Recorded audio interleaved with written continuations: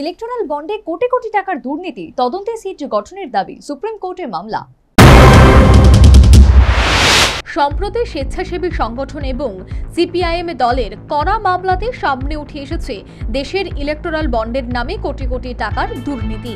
দেখা যাচ্ছে electoral bond দেশের মধ্যে প্রথম স্থানে কেন্দ্রের শাসক দল বিজেপি এবং আঞ্চলিক দল হলেও তালিকার দ্বিতীয় স্থানে রয়েছে তৃণমূল কংগ্রেস।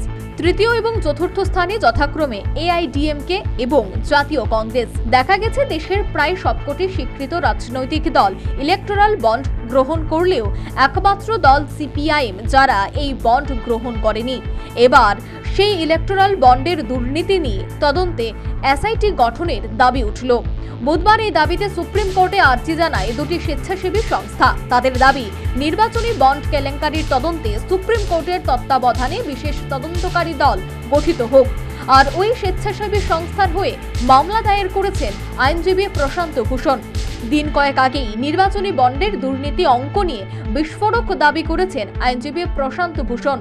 প্রশান্তের দাবি, আপাত দৃষ্টিতে এই কেলেঙ্কারি ষোলো হাজার পাঁচশো কোটি টাকা।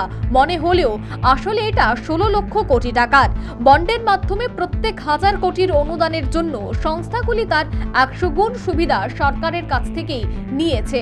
মেঘা ইঞ্জিনিয়ারিং এর উদাহরণ তুলে প্রশান্ত ভূষণ দাবি করছেন ওই সংস্থা বিজেপিকে একশো চল্লিশ কোটি টাকা বন্ডের মাধ্যমে দিয়েছে। তার বদলে সরকার ওই সংস্থাকে চোদ্দ হাজার কোটির বরাদ দিয়েছিল। সেই হিসেবে পুরো কেলেঙ্কারি ষোলো লক্ষ কোটির শুধু তাই নয়, বন্ডের মাধ্যমে অনুদান না করলে ইডি, সিবিআই হয়তো বহু সংস্থার বহু টাকা বাজেয়াপ্ত করতে পারত বা দুর্নীতি প্রকাশ্যে আনতে পারত।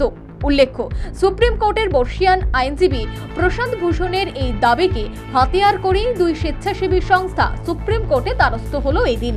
Centre for Public Interest Litigation এবং কমন কজ নামের ওই দুই স্বেচ্ছাসেবী সংস্থার দাবি বন্ডের মাধ্যমে রাজনৈতিক দলগুলি কোটি কোটি টাকার কেলেঙ্কারি করেছে। এটার তদন্তে সিট গঠন করতে হবে।